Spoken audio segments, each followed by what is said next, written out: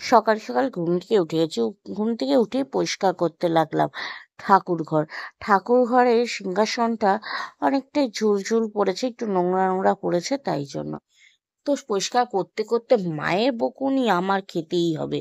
এত বড় হয়ে গেছি তারপরও মা আমাকে কিন্তু এখনও বাচ্চা বক এই বড় ব্লগটা কিন্তু ইউটিউবে চলে আসছে খুব শিগগিরই। আর যারা যারা এখনও আমার ভিডিও সাবস্ক্রাইব করেনি তাড়াতাড়ি করে দাও সাবস্ক্রাইব। ঠাকুরগুলোকে পরিষ্কার করলাম পিতলের ঠাকুরগুলোকে পরিষ্কার করার ওটা দিল মা, তাই করে ফেললাম। দেখো, আমার ঠাকুরঘর